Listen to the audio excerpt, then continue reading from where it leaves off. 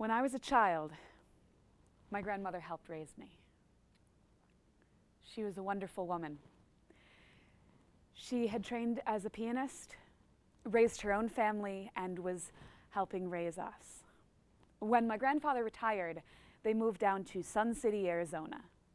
But every Christmas, we would go see them, and every summer, they would come up to us.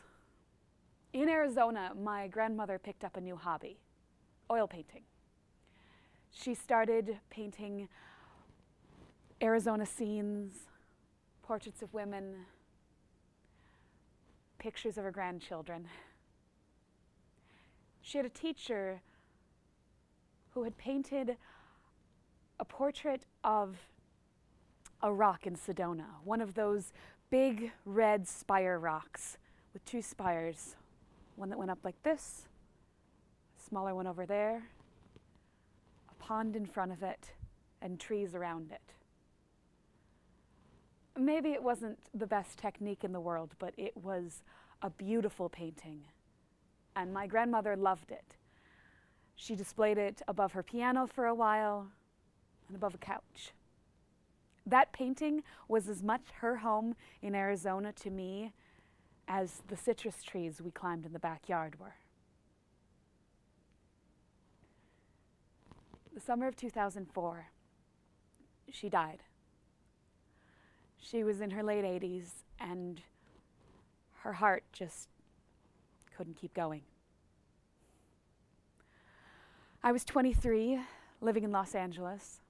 My mother and I went to her house for a week to deal with all of her things. I'm a pack rat. My mother's a pack rat, and my grandmother was a pack rat. So it took us a solid week going through her things. At the end, we were deciding which paintings would go back to Los Angeles with me and which would go to Chicago with my mother. And I put in dibs on that Sedona painting. And my mother said, Well, you know she didn't paint that one, right? I knew it was a totally different style. But she had displayed it so prominently in her home. Obviously, she had loved it. I loved it too. So it went back to Los Angeles with me, where it went in my West Hollywood home above her desk. A few years later, I had decided to leave Los Angeles and move back to Chicago. I loved Los Angeles. I loved the sunshine. I loved the culture. Don't laugh, there's culture. I loved the people. I loved that I could be hiking moments out my door. I loved my life there, but there were a lot of reasons that were compelling me to move back to Chicago. So that's what I was doing. And on a Saturday morning in late February, I got into my car with all of my fragile things, including my paintings, and I headed east. It was going great. I had good tunes. It was sunny, driving through the desert. I reached over to grab some, some nuts out of my bunched up front seat with all my stuff in it. And I reached over my glasses that I need to drive and I snapped them in half. I was wearing my prescription sunglasses at the time, so this was not a problem for Emma right now. This was a problem for slightly future Emma. But slightly future Emma was planning on being at the hotel in Sedona before the sunset. I made a couple of stops along the way, but I kept a pretty good pace. However, by the time I reached the fork in the road that would be forward to Flagstaff and turn right for Sedona, the sun was starting to set. I picked up the pace and I headed up into the mountains.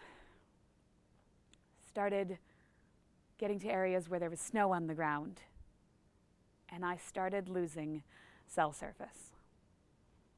Not just my phone, but my internet service. And come on, who has maps anymore? my map was on my Treo. I kept going, hoping I would make it. The sun was setting, and I was lost. I was lost, and there was snow, and it was cold, and I was wearing black leather flats. I uh, had gotten a tattoo on my foot, my Los Angeles tattoo, two days earlier, so I was wearing black flats that didn't interfere with the healing process. I was cold. I kept going. I just kept driving around and I couldn't find it. Eventually, I had to take the two broken parts of glasses and tilt them onto my nose, inward. They kept sliding. It wasn't a good plan, but it was the only one I had. Eventually, I found an area, that famous outlook, where you can see down into the valley. And I found cell service and I called my mother crying. I couldn't find the hotel.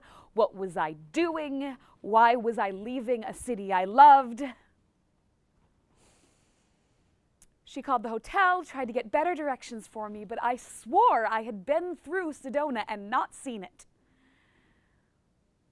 Eventually, I headed south and realized no, I had not been in Sedona, I'd been above Sedona, and I found my way to the hotel. The restaurant I was supposed to eat at was closed, so I went to bed with the thought in my head that I might just get back in my car and head back to Los Angeles. Call the moving company, have them bring back my stuff, go back to my life.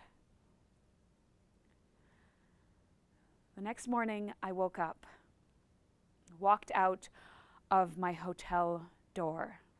It was one of those motel style buildings where the second floor doors even led out to outside.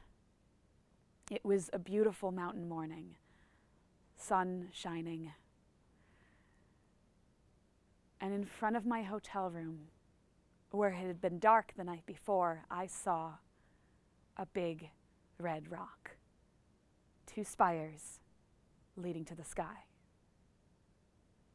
There was no pond. The trees weren't in the right pattern. The rock wasn't in the right formation. It was not the same rock as the painting in my trunk. Couldn't be.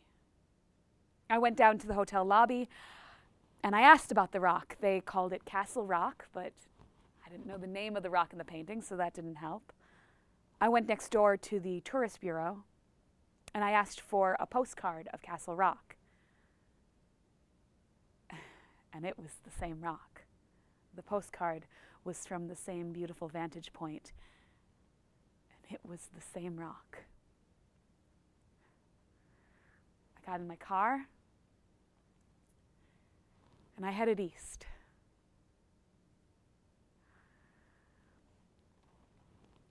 I don't know if that was the right decision. I still miss Los Angeles every day. But it was the decision I made. And a lot of things have happened in my life that probably wouldn't have happened if I'd gone back to Los Angeles. The painting is now at the top of my staircase. I walk in my front door and I walk straight up my staircase every evening. And there's that painting looking at me.